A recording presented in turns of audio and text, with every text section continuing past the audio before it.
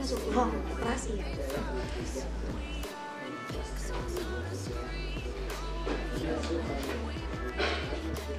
Bu, kali ini gimana sih melihat perubahan ayah selama treatment sama eh, Ayah kan juga banyak terapi juga kan, tapi sekarang kurang masih ada di sini gitu.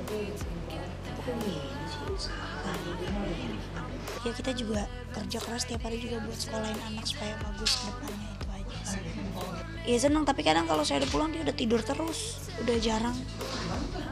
Udah jarang main. Paling pagi sebelum dia berangkat aja.